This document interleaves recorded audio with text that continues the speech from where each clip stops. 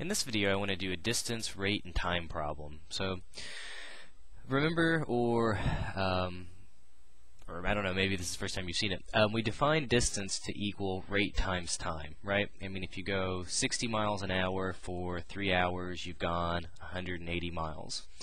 Um, so we short, write it shorthand as d equals r times t. Equivalently, you can solve for RT just by dividing, and I've divided both sides by r to get t equals d over r, because I'm going to use that in my problem. Okay, so this is going to be the problem for us here. It says that the speed of a boat in still water is 10 miles per hour. Um, it says the boat's going to travel 24 miles upstream and then 24 miles downstream in a total of 5 hours. Um, and in this situation, the boat's going to be in a little stream, so it's fighting against a current, or it's in the river, or wherever it is. Okay, so it's not going to go just 10 miles an hour. It's going to go 10 mile. It's going to go less than 10 miles an hour when the boat's moving against the current, and then when it has the current pushing it, it'll go 10 miles an hour plus whatever the current is. Okay, so let's see if we can't use this information to try to set up some stuff here. Okay, so let's think about it. So, so here's my bad little river. So at first the boat is going against the current. So let's suppose the current is again moving to the left and we've got our little boat and it's going to the right. Okay, so if the boat's moving against the current, what do we know in this case? Well, we know for this situation, we know that the distance it travels is 24 miles, because that's how far it goes upstream. Its time, we don't know, so we'll just label it generically as T1. Okay, it's some time, okay? We're not quite sure what it is. The rate that the boat moves at, it's going to be the original 10 miles an hour that it goes in still water, but since the current is pressing against the boat, we'll subtract away the speed of the current. Okay, well, in the other situation, when the boat is actually turned around and then it's going back downstream, well, in that case, what's going to happen? Well, we still know that the distance is equal to 24. Okay, we know that the time on the second part of the journey, well, we don't really know. We'll call that something different, T2. And we know that the rate of the boat this time, since it goes 10 miles an hour normally, well, we'll add the speed of the current because now the, the current is pushing against the boat, so it'll be going faster as it moves left to right. Okay, so what do we know? Well, we know that the total time is 5 hours. Well, we can set that up as an equation by saying T1, that was the time to go upstream, plus T2, that's the time it takes to go downstream. That'll equal um, 5 hours. Okay, if we use the original equation I had, remember at the very beginning I wrote that since distance equals rate times time, we can write time as distance divided by the rate. Okay, so that's what I'm going to use in both of these cases or, or this problem. So it says T1 would be the first distance divided by the first rate. T2 would be the second distance divided by the second rate. And again, we know that equals 5 total. Well, again, if I plug in my information here now, we know that the first what the first distance was, it was 24. The rate over that part was 10 minus c. The distance over the second part was also 24. The rate over the second part was 10 plus c.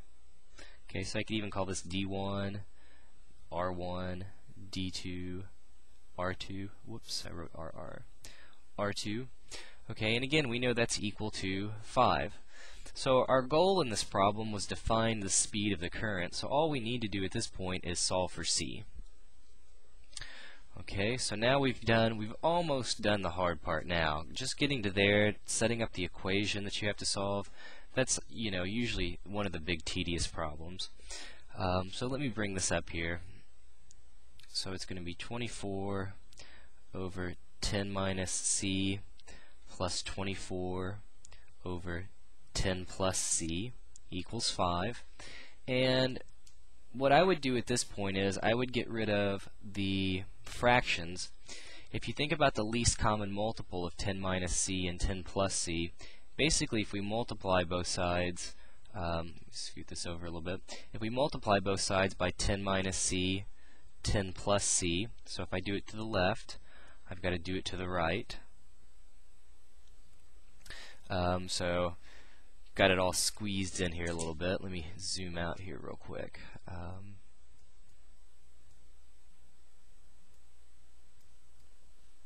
Okay, so when I distribute this to the first part, I'm distributing all of this whole first term. The 10 minus c will cancel out and leave us with 24 times 10 plus c plus 24. When I distribute it to the second part, the 10 plus c will cancel out, and that'll leave me with 10 minus c. On the right side, we have 5. If I FOIL this out, I'm going to get 10 times 10, which is 100. Then I'm going to get um, a minus, or excuse me, I'll get a positive 10c, but then a negative 10c. That'll cancel out, and then I'll be left with minus c squared.